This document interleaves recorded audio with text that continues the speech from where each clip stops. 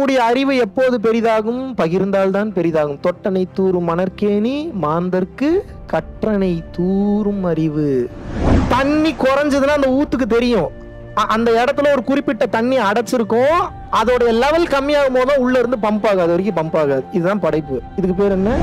எப்படிப்பட்ட ஒரு சிந்தனை எப்படிப்பட்ட ஒரு செயல் எப்படிப்பட்ட ஒரு மெக்கானிசம் எப்படிப்பட்ட ஒரு இன்ஜினியரிங் மைண்டு மனிதனே கிடையாது அவன். எப்படி படைச்சிருக்கான் பாரு. அதுபோல நீர் எடுக்க எடுக்கத்தான் கிணற்றிலிருந்து நீர் ஊறும். எசார்னோ இதான் தொட்டனை தூறும் மணற்கு ஏனி மாந்தற்கு கற்றனை தூணு தூறும் அறிவு. தொட்டனை தூறும் மணற்கேணினா தொட தொட எடுக்க எடுக்கத்தான் தண்ணி வரும்ன்ற மாதிரி உங்களுக்கு இப்போ இருக்கக்கூடிய அறிவு சிற்றறிவு.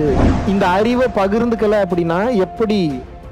கிணற்றில் இருக்கக்கூடிய தண்ணீர் கொஞ்சம் கொஞ்சமாக அழுகி பாசம் பிடித்து வீணாகி குடிக்க முடியாமல் போய் விடுகிறதோ அதுபோல் இப்போ உங்களுக்கு இருக்கக்கூடிய அறிவை நீங்கள் இன்னொருத்தர்கிட்ட ஷேர் பண்ணலன்னா உங்களுடைய அறிவே உங்களுக்கு ஆபத்தான யமனாக மாறும்.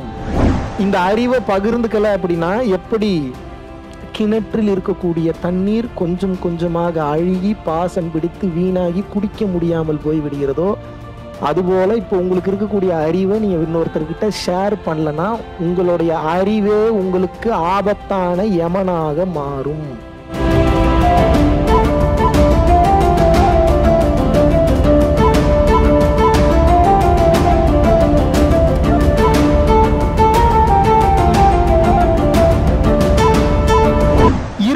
அறிவு எப்போது பெரிதாகும்? பகிர்ந்தால்தான் பெரிதாகும். தொட்டனை தூறும் மணற்கேணி மாந்தர்க்கு கற்றனை தூறும் அறிவு. அப்படின்னு என்னங்க? ஒரு கிணறு இருக்கு. கிணத்துல வாளி போட்டு தண்ணி எடுக்கிறீங்க. தீந்துருமா கிணத்துல? ஏன் தீராது? ஏங்க தீராது? கிணத்துல தண்ணி எடுத்திருக்கீங்களா? எடுக்கலையாங்க. ஏங்க அப்படி பண்றீங்க?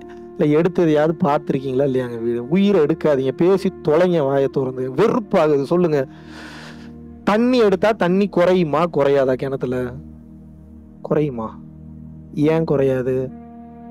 வெரி குட் சரி இப்போ நான் தண்ணியே எடுக்கல. அப்போ ஊத்து ஊறிக்கிட்டே இருக்கு. ஊறுதா இல்லையா? அப்படின்னா மூணு நாலு நாள்ல கிணறு நிறைஞ்சு கீழே தண்ணியா போகணுமே ஏன் போல? ஏன்டா இப்படிலாம் கேள்வி கேட்குறேன் ஏன்னா மனுஷனாடா. எனக்கு இப்படிலாம் கேட்கணும்னு தோணுச்சு நான் கேட்டேன் எனக்கு பதில் கொடுத்தாங்க. இப்போ அந்த கேள்வி நான் உங்ககிட்ட கேட்குறேன் பதில் சொல்லுங்க. கிணத்துல இருந்து தண்ணி எடுத்தா தண்ணி குறையுமா குறையாதா? குறையாது. குறையும். குறையும் ஆனால் மறுபடியும் வந்துடும் எப்படி வருது? எங்க இருந்து ஊறுது? இமயமலையில இருந்தா. எங்க இருந்து ஊறுது? இப்ப என் கேள்வி என்னன்னா எடுக்கலன்னா தண்ணி அப்படியே குறையாம இருக்கும். எடுத்தாலும் மறுபடியும் ஃபில் ஆயிரும்ன்றீங்க. அப்படின்னா என்ன அர்த்தம்? ஊத்து தண்ணியை கொடுக்குதுன்னு அர்த்தம். எஸ் ஆர்னோ ஏன் நிரம்பி வழியில ஒரு வாரமா நம்ம தண்ணி எடுக்கலன்னா இப்போ உங்களுடைய கால்குலேஷன் படி என்ன? கொஞ்சம் கொஞ்சமா கொஞ்சம் கொஞ்சமா கொஞ்சம் கொஞ்சமா கொஞ்சம் கொஞ்சமா கொஞ்சம் கொஞ்சமா வந்து அந்த கிணத்துல இருக்கக்கூடிய மொத்த தண்ணியும் கீழே போகணும். அப்படிதானே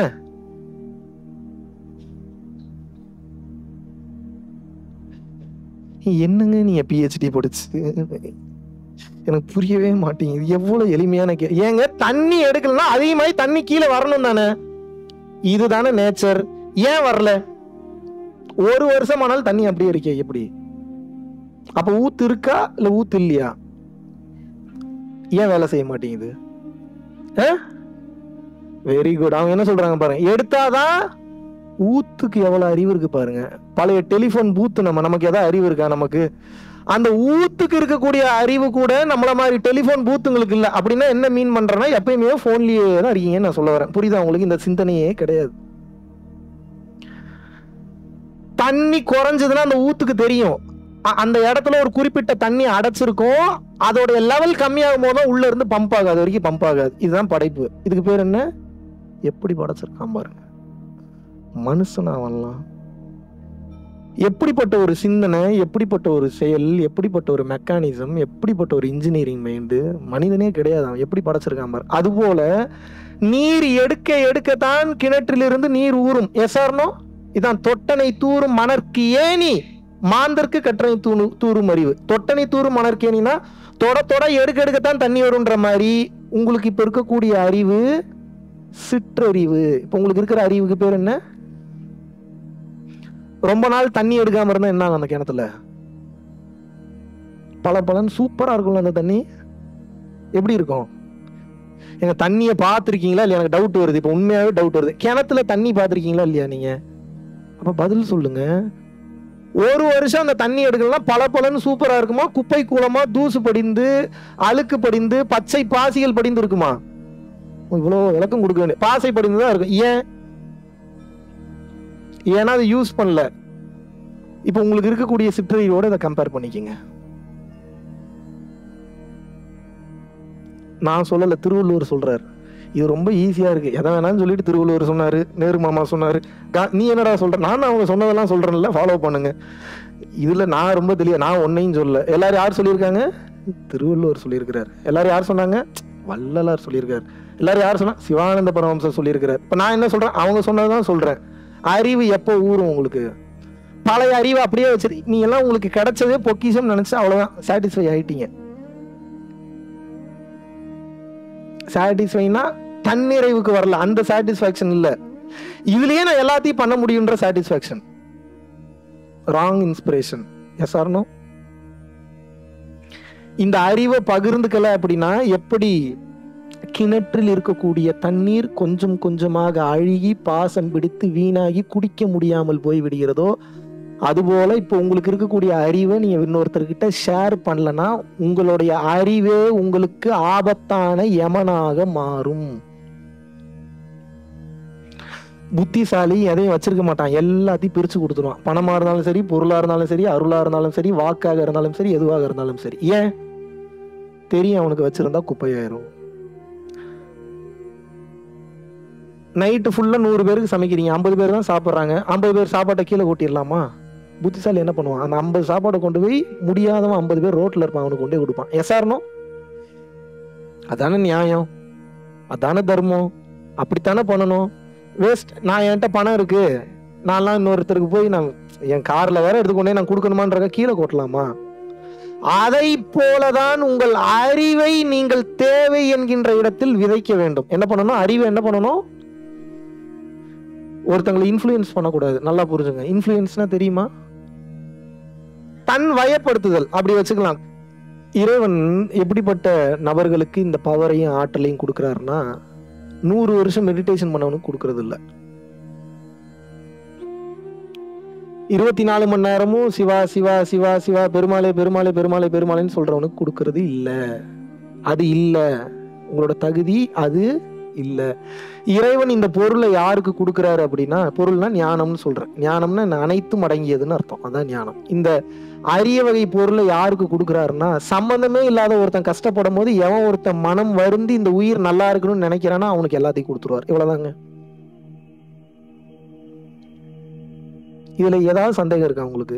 இதில் ஏதாவது டவுட் இருக்கா உங்களுக்கு? உங்கள்கிட்ட தான் கேட்ட ரெண்டு கேள்வி. ஒருத்தன் பவரோட இருக்கான் ஒருத்தன் பவர் இல்லாமல் கருணையோட மட்டும் இருக்கான். யாரை கடவுளாக ஏற்றுக்கிட்டீங்க ஏன்னா கருணையோடு இருந்தால் தான் நிதர்சனம் கருணையோடு இருந்தால் தான் ஸ்டெபிலிட்டி கருணையோடு இருந்தால் தான் நியாயம் கருணையோடு இருந்தால் தான் நீதி கருணையோடு இருந்தால் தான் நேர்மை. கருணை தான் அனைத்திற்கும் மூலதனமாக நின்று விளங்குவது. கரெக்டா இல்லையா? எஸ் எஸ்ஆர்னோ எஸ் இப்போ நீங்கள் கடவுளாக மாறணும்னு நினைக்கிறீங்க. பணம் இருக்குது பொருள் இருக்குது அழகு இருக்குது வீடு இருக்குது வாசல் இருக்குது கார் இருக்குது பேனா இருக்குது பென்சில் இருக்குது ரப்பர் இருக்குது ஸ்லேட் இருக்குது என்ன இல்லை எல்லாம் இருக்கு. என்ன இல்லை இப்போ உங்களுக்கு? ஏன் இறைவன் வரல? இப்போ ஆரம்பத்தில் கேட்ட கேள்வி கனெக்ட் பண்ணுங்க. இவ்வளவு தூரம் பூஜை பண்றீங்க புனஸ்காரங்கள் பண்றீங்க. ஏன் இன்னும் இறைவன் வரலன்னா ஏன் வரல இப்போ நீங்களே சொல்லுங்க. வெரி குட் கரெக்டா வந்துட்டீங்க பாயிண்ட் ஏன் ஏன் இன்னும் இறைவன் வரல உங்களுக்கு? கருணை முதல்ல வாயிலேயே வர மாட்டேங்குது உணர்வுல இருந்து எங்க இருந்து வரும்?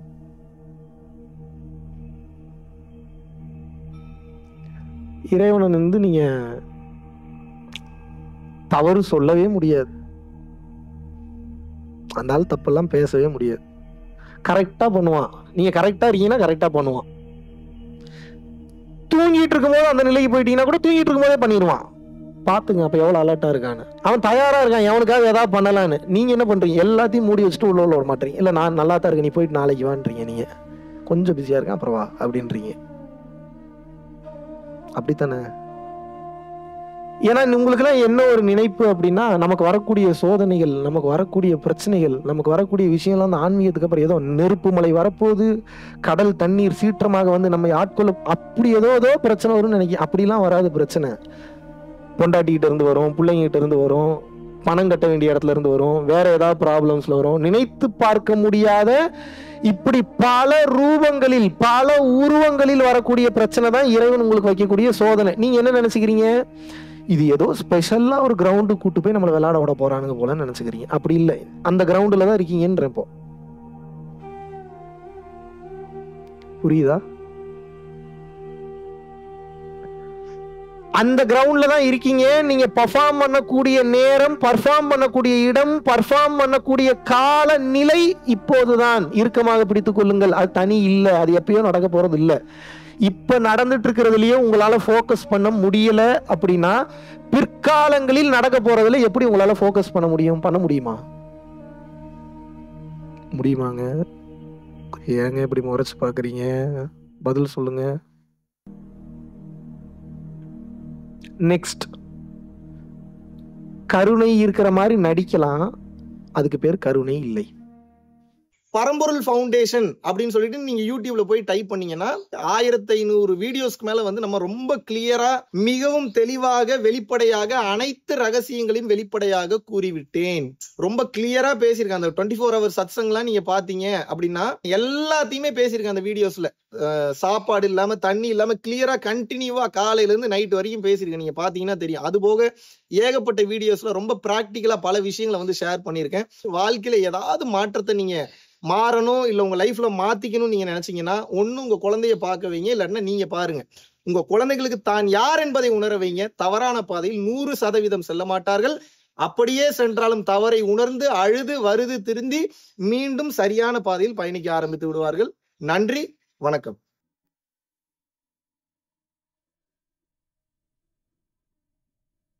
பரம்பொருளின் கருணையினால உங்களுடைய இடைவிடாத அன்னதானத்திற்கு நீங்கள் அனுப்பப்பட்ட பணத்தின் மூலியமாக பல லட்சம் உயிர்களுக்கு இது நாள் வரைக்கும் வந்து சாப்பாடு கொடுத்துருக்கோம்.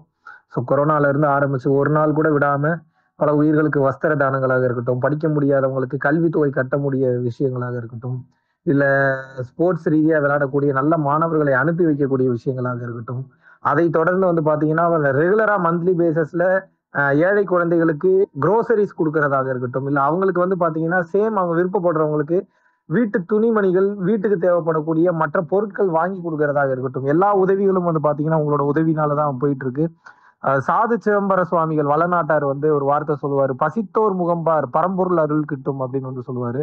வள்ளல் பெருமானும் ஜீவகாருண்யம் உள்ள சம்சாரிகளுக்கு எப்பேற்பட்ட சூழ்நிலையிலும் வந்து பாத்தீங்கன்னா அவங்களோட லாபம் தடைபடாது.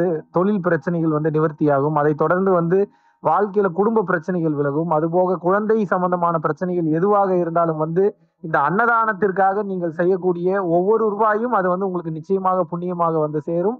புண்ணியத்தை கடந்த நிலையில் முக்தி பாதைக்கும் அது நிச்சயமாக உங்களை வழிநடத்தும் அதனால விருப்பப்படுறவங்க நம்மளுடைய பரம்பொருள் அறக்கட்டளையினுடைய சேரிட்டி ஆக்டிவிட்டீஸ்க்கு தங்களுடைய விருப்பப்படக்கூடிய நன்கொடையை கீழே உள்ள டிஸ்கிரிப்ஷன்ல இருக்கக்கூடிய அக்கௌண்ட் நம்பருக்கு செலுத்தலாம். இதற்குண்டான அந்த அருளை சித்தர்கள் உங்களுக்கும் உங்கள் குடும்பத்தாருக்கும் வழங்க வேண்டுகிறேன். குருவின் பரிபூர்ண அருளாசிகள் குரு கடாட்சம்